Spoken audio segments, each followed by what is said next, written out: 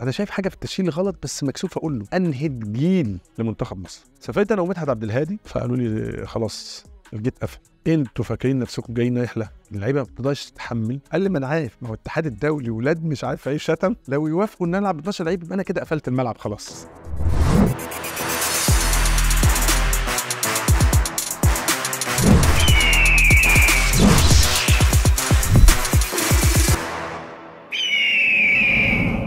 بنتكلم على حد.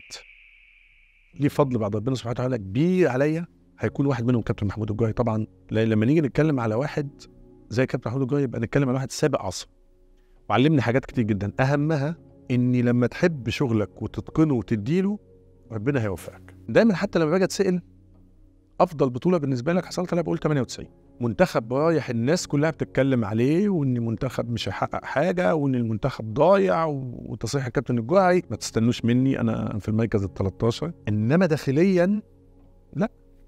هو كان بيقول إحنا هنروح نحقق البطولة. أول ما وصلنا آه بوركينا فاسو بلد طبعا كانت فقيرة جدا جدا. رحنا مكان زي كومباوند كده مقفول في شاليهات موجودة. واضح إن هي لسه مبنية جديد. ريحة البوية موجودة فيها. واللعيبة كلها بدأت تبدي اعتراض. إحنا إيه المكان اللي إحنا جايين فيه ده؟ وإيه المكان ده ما ينفعش وكده.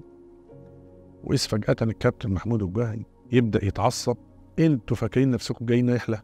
أنتوا فاكرين نفسكم جايين إيه؟ إحنا أي مكان هنقعد فيه؟ عايز تكون بطل؟ خلاص هتقبل أي حاجة موجودة. هو ده هي دي أفريقيا وهي دي إمكانيات الدول الأفريقية وقتها. عملنا بطولة أعتقد بطولة كبيرة جدا جدا جدا. أول مباراة كسبنا وتاني مباراة المباراه الثالثه المغرب. خسرنا طبعا بجول مصطفى حجي بس إحنا كنا ضمننا الصعود خلاص كنا ضمننا الصعود وأنا فاكر وقتها كان الكابتن جوهري كان أنا عندي انذار طلب إن ناخد انذار الثاني أنا وسمير كمونة وما لعبناش لقاء المغرب. وبعد ما خسرنا اللقاء ده شفت أصعب يوم من الكابتن جوهري موجود وقتها لأن هو زعل إن إحنا نطلع تاني. لأن تاني كنا هنقابل كوت ديفوار. كوت ديفوار كانت وقتها كانت فرقة مرعبة وكانت مباراة صعبة جدا. طول 120 دقيقة انت مالكش في المباراه غير هجمتين وهم ليهم هجمتين فقط لا غير. كانت مباراه إحنا الاثنين خايفين من بعض بشكل يعني مش عايز أقول لك عدينا ماتش كوت ديفوار طبعا بضربات الجزاء وجينا طبعا للقاء آه بوركينا فاسو ويمكن آه عادات الافارقه شوية معروف الموضوع ده يعني يمكن اتحكى كتير جدا بالنسبة للناس كلها والناس كلها عارفاه. إحنا خارجين نلعب المباراة وحصل طبعا لقينا خنازير مذبوحة وواحد جاية في أثناء المعسكر العربية كده واحد معدية واحد إيه بدأت ترمي الخنازير دي علينا والكلام ده فيعني بدأنا إن إحنا نقرأ قرآن وبدأنا نشغل قرآن وكده وخلاص مفيش مشكلة ده وضع طبيعي ولازم ننزل الملعب ونقاتل في الملعب وكده. وفعلا بالفعل ووصلنا للمباراة النهائية طبعا قدام جنوب أفريقيا وكانت وقتها جنوب أفريقيا من المنتخبات المميزة وكانت حاصله على بطولة 96 أنا بالنسبة لي نايم الساعة 6 الصبح لا مش عارف أنام. يعني أنا النوم مش راضي يجي. أنا عمال أفكر أول دقائق في المباراة الكوره طبعا اللي لعبها لي الكابتن هاني وإن أنا بدأت إن أنا أول هدف الشهير طبعا لنقلني نقله تانية في حياتي. فالناس كلها تسألني هي الكوره غيرت اتجاهها إزاي عملت كده إزاي عملت كده. أنا مش فاهم. بدأت أتسأل لحد ما شفت الهدف. أنا كمان استغربت الهدف. لحد دلوقتي أنا مش عارف الكوره دي يعني إزاي غيرت اتجاهها بالشكل ده. الهدف ده آه يمكن أكتر من مرة ماتش ليبيا. نفس الحكاية. مع الأهلي عملته أكتر من مرة في الاتحاد في المصري. أنا ما أعرفش. أنا بشوط بطريقة هي بتكون الكوره اتغيرت اتجاهها. ولكن بطوله 98 أنا أعتقد إن هي كانت مفترق طرق بالنسبة لي. بعد البطولة دي واحد معروف اسمه أحمد حسن لعيب كويس. أنت رجعت من البطولة دي مصر كلها بتتكلم عليك بتتكلم على الهدف بتاعك. حاجة من الاثنين يا إما تكمل طريقك بنفس القوة يا إما تبدأ الدنيا تاخدك بقى شوية وعايز بقى اعيش بقى النجومية. وأنا لسه شاب من 23 سنة. فأنا كان اتجاهي لأ أنا هكمل بالشكل ده وهنجح وهكمل طريقي. فبدأ الحلم بتاعي بقى الجديد. إيه بقى؟ انت عايز إيه؟ لا أنا عايز احترف. فجالي العرض بتاع كوجالي وكان وقتها عندي عروض من أسبانيا بس ما كانش فيه لسه عندنا بقى مسألة وكالة اللعيبة وكده ودي يمكن أثرت على لعيبة مصرية كتير كانوا لعيبة مميزة وكانوا ممكن يحترفوا إن ما كانش عندهم فرصة. سافرت أنا ومدحت عبد الهادي. تخيل أول أسبوع أو أول عش... أو أول شهر ما عنديش غير حاجتين بفكر فيهم. الحاجة الأولانية الصبح قاتل وأثبت وجودك علشان تحقق حلمك. بالليل أنا بكره الصبح هكلم الاداره أنا عايز ارجع مصر مش عايز اكمل. انت عايش حاله حزن عايش حاله يوت بالليل. افتكر ان إحنا بعد اول معسكر كان بقالي حوالي شهر ما نزلتش مصر وراجل المدرب ادانا ثلاث أيام اجازه. حجزت ticket من من من فرنسا ان أنا انزل اقعد الثلاث الثلاث أيام دول في مصر وكده. فرحت المطار متأخر شوية فقالوا لي خلاص ال gate قفل. الوقت ده أنا كأني يعني حد مات لي. اتحايل على الناس. طب معلش عشان خاطر خلاص ال gate قفل الطياره خلاص. اتأجلت الرحلة لتاني يوم فيوم ضاع من من الأجازة بتاعتك. المهم يعني طبعا يعني نزلت مصر وكده وبعد كده رجعت تاني وبدأت خلاص بقى أتأقلم مع الجو وكده. مدحت قعد معايا ست شهور ورجع. رغم إن أنا عايز أقول لك مدحت كان عامل اسم كويس قوي قوي ودي اللي عطلت أجيال عندنا كتير.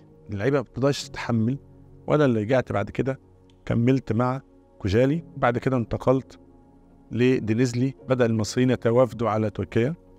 كان عبد الظاهر السقا ومحمد يوسف ورحت معاهم دينيزلي ولكن ما بين دينيزلي طبعا ما نقدرش نغيب عن المنتخب. كنا بنستعد لكأس العالم للقارات وأعتقد إن كان في ماتش شهير لعبناه وقتها بلجيكا. فاكر إن أنا عملت مباراة وقتها؟ مدير فني البلجيكي وقتها بس أنا رجعت لهم بعد كده بعدها بشوية قال لك من أحسن لعيبة نص ملعب شفتها في حياتي. المنتخب بدأ يمر بظروف صعبة شوية. كان الكابتن حسام حسن حصل عنده شيخ في في في وش القدم. ما كانش في حد يعني قادر ان هو ياخد المكانة بتاعت الكابتن حسام حسن. ولعبنا أول ماتش بوليفيا والماتش ده تعادلنا فيه. وتاني ماتش كان بلد المضيف المكسيك. خليني أحكي موقف طيب. قبل ماتش المكسيك إحنا كنا بنصلي بنتجمع كده عشان نصلي الفجر. فلقيت الأوضة كابتن الجوهري قاعد. فأنا بصيت كده بدماغي ورحت راجع تاني فهو شافني قال لي تعالى تعالى. فحاطط ال- السبوره وحاطط التشكيل بتاعنا اللي هيلعب مباراه المكسيك. فبيقول لي إيه رأيك في التشكيل ده؟ فبصيت فقلت له كويس يا كابتن. أنا شايف حاجة في التشكيل غلط بس مكسوف أقول له. كابتن كويس برضه هيبة يعني. قلت له آه يا كابتن التشكيل كويس بس معلش يا كابتن هو في حاجة بس في التشكيل ده. قال لي إيه؟ قلت له حضرتك إحنا بنلعب ب 12 لعيب مش 11 لعيب. قال لي ما أنا عارف ما هو الاتحاد الدولي ولاد مش عارف إيه شتم. لو يوافقوا إن ألعب ب 12 لعيب يبقى أنا كده قفلت الملعب خلاص. كان عبقري يعني رحمة الله عليه. وأعتقد إن اللقاء ده من أهم اللقاءات في تاريخ الجيل ده. 2-0 للمكسيك بنتعادل معاهم 2-2 في ملعبهم. المباراة دي أنا حرزت هدف وسمير كمونة جاب الهدف الثاني وبعدها بنستعد للقاء السعودية. أنا فاكر وإحنا حتى نازلين نلعب السعودية. لعيبة السعودية قلنا يعني على مهلكوا يعني على مهلكوا يعني. الموضوع يعني لأن إحنا كنا نتعادل ونلعب البرازيل. آه نكسب نستنى المباراه الثانية ونشوف إحنا يعني الوضع بتاعنا هيبقى عامل إزاي. نزلنا لقاء السعودية وفي اللقاء ده إحنا كنا الأفضل. وضيعنا أنا يمكن ضيعت هدفين في أول اللقاء ده وجينا بعد كده الطرد طبعا الشهير الاثنين أساسا ما بينطقوش. عبد الستار صبري طبعا وحازم. للأسف المباراة دي أنا شايف إن هي أنهت جيل لمنتخب مصر. والجيل ده جيل لا يقل عن جيل 2006 و2008 و2010 اتدمر بسبب قرار عشوائي إقالة كابتن محمود الجوهري وجت فترة كده ناس كتير بتتوالى على المنتخب وكلها حقل تجارب وكده زي ما بيحصل في الفترات الأخيرة. الدنيا بدأت تبوظ وبدأ بقى يجي جوال جيلي بطولة 2000 والدنيا ما مشيتش بأفضل ما يكون.